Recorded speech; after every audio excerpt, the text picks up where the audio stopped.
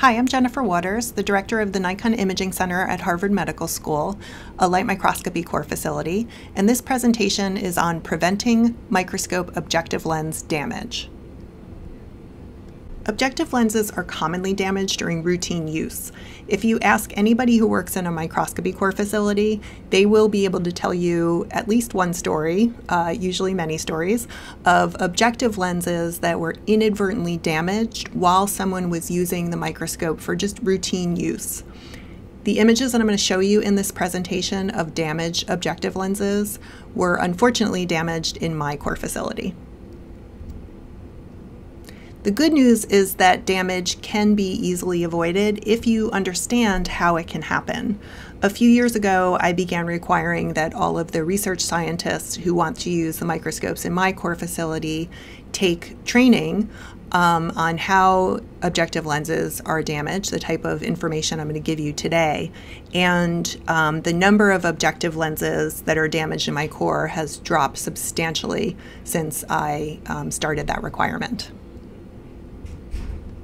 I'm going to begin by reviewing the parts of the microscope that I will refer to throughout this video.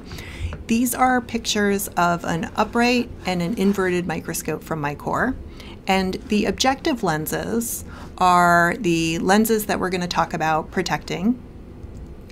Objective lenses are mounted onto the nose piece on the microscope, and the nose piece is what you rotate when you are changing between objective lenses. The sample sits on the stage of the microscope. The objective lens is the main image forming lens in the microscope. It's an expensive part. They can be $10,000 or more. If a uh, objective lens is damaged, it can sometimes be repaired. The repairs are costly, they can be thousands of dollars, and you need to usually ship the lens to the manufacturer, often in a different country, and it takes a while for the repair to be done, and then it has to be shipped back from to you. Um, so the lens can be away from your lab for many months being repaired. The most commonly damaged part of an objective lens is the exposed top lens. The top lens has many coatings of anti-reflective materials, which make it particularly delicate and susceptible to scratches. The type of damage I'm going to talk about today are cracks and scratches in the top lens of the objective that can occur while you're using the microscope. So this is a dissecting microscope image of a top lens and what you're looking at is the interface here, this arc is the interface between the metal surface that surrounds the top lens and the lens itself. And you can see two scratches, a large scratch here and a smaller scratch, and then a crack in the lens. And again, today I'm going to focus on this type of damage happening while you're using the microscope. You can also damage objective lenses in different ways, like when you're cleaning them, but today I'm going to talk about this type of damage occurring while you're operating the microscope. Throughout this video, I'm going to use this cartoon to demonstrate how the different types of damage can occur. What you're looking at is the microscope stage. The microscope stages are usually metal and they have a ledge that your sample sits on. I'm also showing the nose piece and several objective lenses. When you focus the lens onto your specimen, the lens is usually up higher than the ledge that the sample is sitting on. So one of the ways you can damage an objective lens is by moving the stage such that it comes into contact with the lens. So to prevent this sort of damage, first you want to begin by focusing as close to center of the specimen as you can, and then as you're moving the stage around, stop every now and again and look at the microscope and just look where the lens is relative to the stage and don't let it get too close. If you look and it's too close to the stage, move in the opposite direction. After a while, you'll get used to how much you can move before you have to check and make, to make sure that the objective is not too close to the stage. This is a lens that was damaged when a stage hit the lens. You can see that there is a crack in the top lens on the side of impact and another crack on this side as well. Objectives can also be damaged when rotating the nose piece to put a new objective into place. The objective lenses may hit the stage as the nose piece rotates. So to prevent this type of damage from occurring, you want to move the objective lens away from the stage before you rotate the nose piece.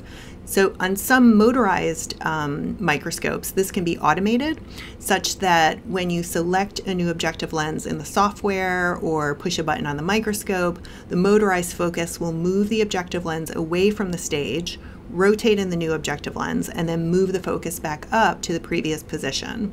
So if you have a motorized microscope and it doesn't already do this, you can ask your microscope representative to set up that function for you. We found an objective lens that was very scratched up on one of our microscopes.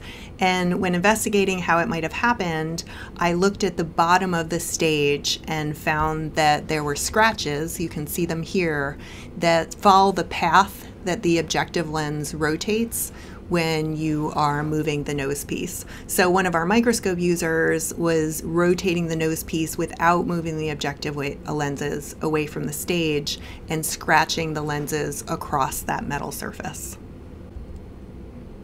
Objective lenses can also be damaged if when you are focusing on the sample, the objective lens pushes on the slider cover slip and causes the slider cover slip to break.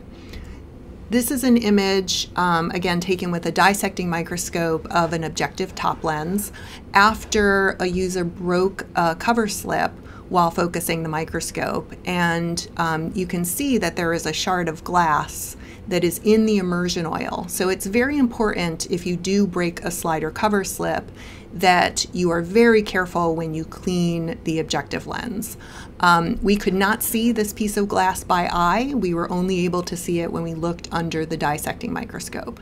So there are references in the notes section below this video um, on how to clean objective lenses carefully. Your best recourse here is to prevent breaking the slider cover slip while you're working on the microscope.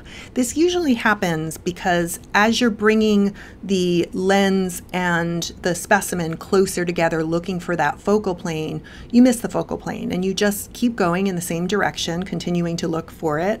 And as the um, lens approaches the specimen, it eventually touches it and eventually puts pressure on it causing the cover slip or even slide to break. So, what you want to do when you're focusing is when you're looking at the image through the eyepiece or on the monitor, only move away from the specimen. So, the way to achieve that is to first look at the specimen on the stage bring the objective lens close to the specimen. Now, how close it needs to be depends on the lens that you're working on. So, a dry lens, it might be quite far away, a, a millimeter or so. With a oil immersion lens, it is more common for that lens to need to be very close to the specimen to be in focus. So once you're in focus, check that distance and keep that in mind for next time. But this first time that you're learning this type of focusing, what you want to do is bring the objective lens very close to the specimen. Don't push on the specimen, but just bring it very close. And then look through the microscope eyepieces or at the image on the monitor and bring the objective lens away from the specimen, looking for the focal plane. Um, if you don't find it, then it might be that there's nothing in that field of view, so move the stage to another field of view if you think that might be the case. Um, and then try again, move a little bit closer this time to the specimen and move away again, looking for the focal plane with a little bit of practice, um, you will get to the point where you know roughly how close you need to get to that specimen um, with your lens in order to be able to find the focal plane in this manner. And um, I think you'll find that it's it's a much safer technique for for focusing and will prevent you from breaking slides or cover slips. Another way that an objective lens might be damaged is if you're working on an inverted microscope and your specimen holder is such that your specimen sits higher on the stage than is typical. This is usually a problem more with custom um, chambers than it would be with standard slides or dishes. The problem here um, comes if when you are focusing on your sample, the stage hits one of the neighboring objective lenses. And so to prevent this from occurring, you want to carefully check to make sure that the lens and stage aren't coming into contact when you're focusing on your sample. And a way to do that, if it's not obvious just by looking, is to put a piece of lens paper in between the lens and the stage, and then slowly move the lens towards your sample um, while kind of wiggling the piece of lens paper. This is sometimes a two person job. Um, and when the lens comes into contact with the stage, you'll feel the, um, the resistance pulling on the piece of lens paper. So if it turns out that the neighboring lenses do hit the stage before you can focus on your sample, then you're going to need to get this the sample closer, redesign the chamber so that you can get closer to the stage, or you can remove the neighboring objectives from the microscope each time that you are imaging with that chamber. Objective lenses can also be damaged if they come into contact with the edge of a cover slip. So for example, if you have a slide with two cover slips mounted, it's impossible to mount those at exactly the same height. And so if you're focused on one cover slip and you want to move to the second cover slip and that sec second cover slip is a bit lower, you can scratch the lens with the edge of that cover slip. And uh, this could be made worse if you have some sort of sealant on the edges of your cover slip, like hard nail polish, for example.